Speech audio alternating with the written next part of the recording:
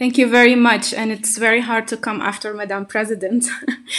Thank you to UN Women and OECD for the invitation and for this uh, timely roundtable. I think the moment I received the invitation on Thursday, I immediately called for a consultation with young women as part of a series of virtual African Union youth consultations on COVID 19 that my office has been convening for the last three weeks with Africa CDC because we believe that these conversations should be uh, bottom up. So, what I'm going to be sharing with you today is not just the position of the African Union Youth Envoy, but also the position of 35 uh, young women from 15 countries from all the five regions of Africa who wanted their voice to be heard uh, in this roundtable. So, very tough to summarize in three minutes, but I will submit the full statement for your consideration to be included in the final uh, outcome. Uh, on the economic impact, uh, there are three main uh, points that were highlighted by the young African women during this consultation. First of all, we need to understand where the youth are in order to identify the effects of COVID 19 on them.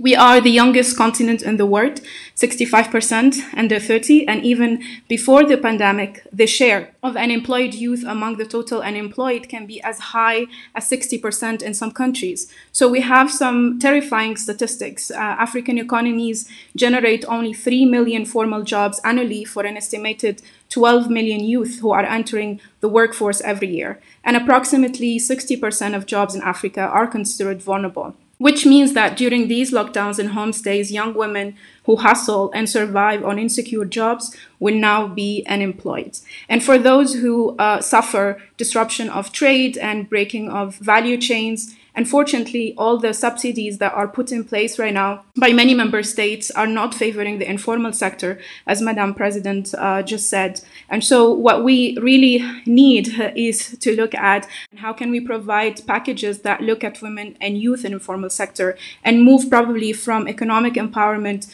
to also economic resilience uh, by strengthening the resilience of young women entrepreneurs, providing capital, providing digitalization of the markets, and making uh, also the value chains more resilient providing skills that can build their businesses and livelihood because we all know that many of these young women are in the streets and are in the market and can barely really make minimum wage to be tax uh, compliant. Uh, the second point is that COVID 19 is changing and digitalizing the nature of communication and businesses. But we need to acknowledge that 70% of Africa's population is offline, and more than 40% of the world's population is offline. So there is an urgency to close the digital divide. Young women and girls in Africa are still pretty much out of the digital revolution. Their education and potential opportunities are completely disrupted. So, how can we build more offline and online for those who don't have the technology to educate on e marketing, to help digitalize businesses, to put offline community engagement on online platforms, to identify also and leverage on that one person in our communities who have digital access and who can maybe gather in cooperative formats the goods that can be sold online, for example. And three, and lastly, now because of the structural failing of our economic system, the challenge for all of us in policy-making spaces and civil society is to look at post-crisis needs. And for Africa, the continental free trade area is extremely important for our industrialization and transforming our economies to meet domestic and continental consumption. But how do we industrialize while seriously addressing structural, patriarchal, problematic economic systems that do not pay women equally, do not empower the youth, and do not deliver to the most vulnerable? So we really need to think about how do we get out of the crisis with transformation, and that is also intergenerational and feminist.